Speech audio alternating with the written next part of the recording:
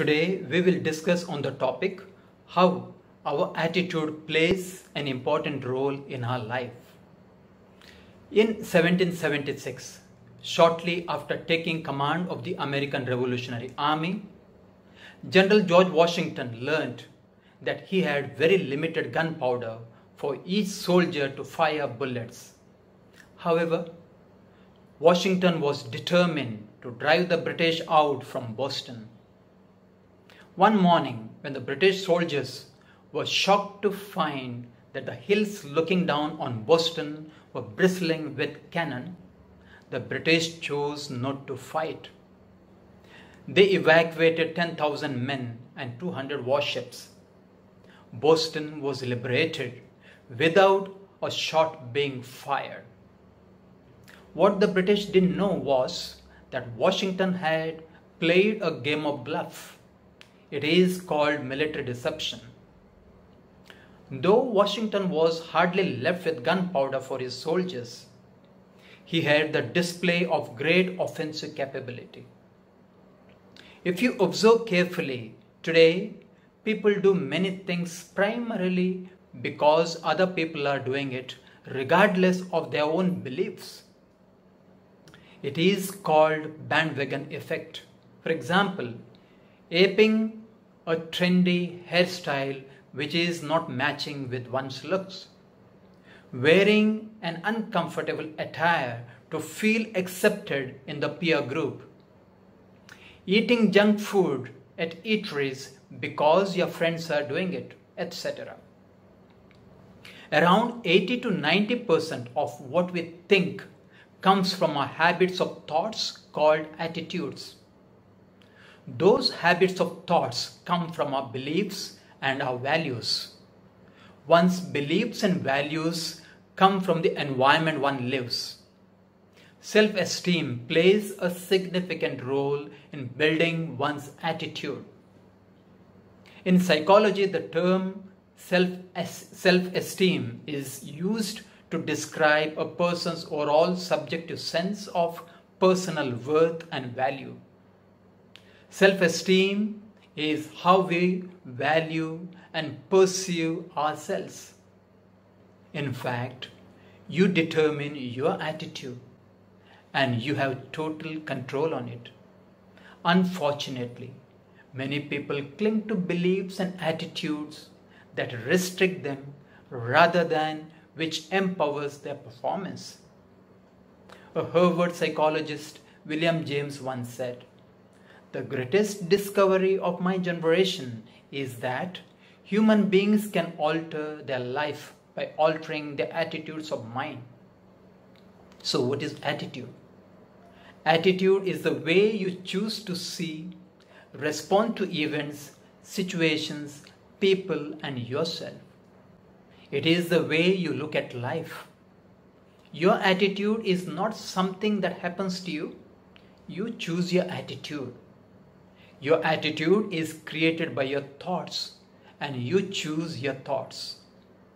Michael Jordan has been often referred to as the best basketball player of all times.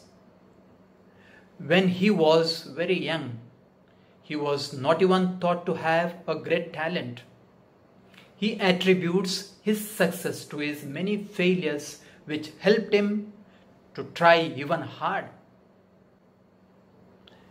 Michael Jordan had the right attitude, and it was a recipe for his success.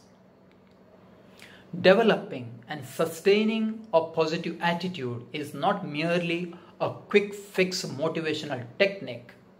It is a disciplined skill that must be practiced and learned. For example, Mirabai Chanu, who won silver medal in weightlifting in Tokyo Olympics, is hailing from a remote village from Manipur. Her life was full of struggles and extreme poverty. However, it was her attitude towards life with discipline and commitment helped her fight against all odds and win silver medal and make our country proud. It is called positive effect. Indeed, how you see and respond to events is shaped by your mindset and patterns of thinking. For example, when Dronacharya wanted his students to shoot the bird on the tree as a test, he asked them what they could see on the tree. Everyone answered that they could see branches of the tree, leaves, birds, and so on, except Arjun, who said that he could see only the eye of a bird. Therefore, it is essential to train your mind and use it wisely. The mind is generally getting cluttered by pessimism, disapproval, or cynicism. As a result, many are not able to achieve what they can. In the 1920s, when Ernest Hemingway was working hard to perfect his craft in his stories, he lost all his manuscripts. He was not even able to focus on redoing his work. He could only think of the months he had devoted to his writing for nothing. His guide and guru, poet Ezra Pound, called it stroke of luck when he met him.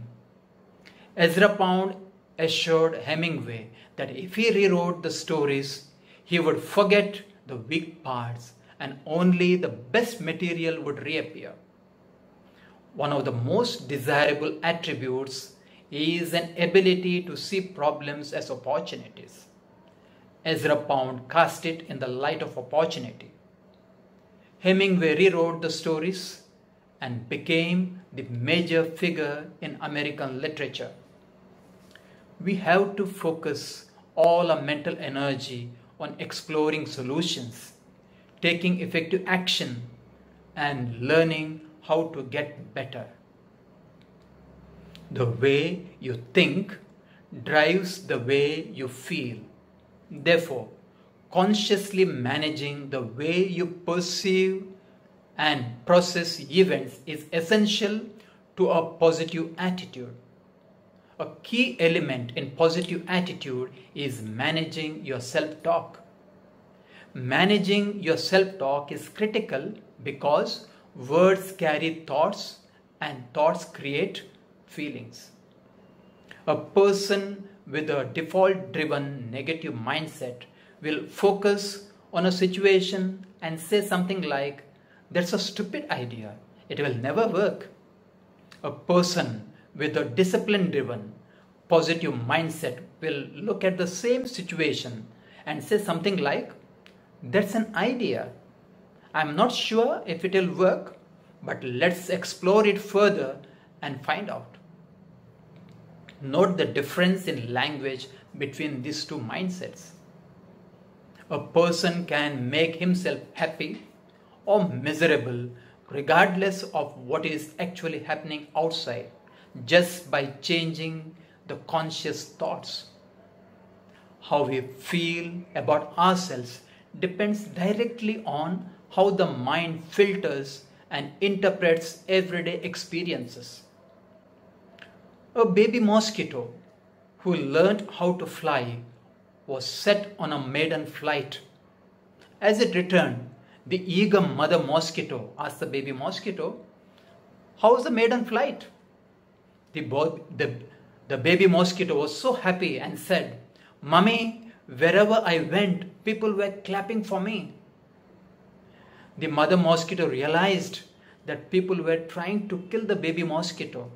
However, it didn't want to discourage the baby mosquito, hence, it advised its baby Look, son, wherever people clap, always fly high. This is called positivity bias. Attitude plays an important role in one's achievement, performance, and success.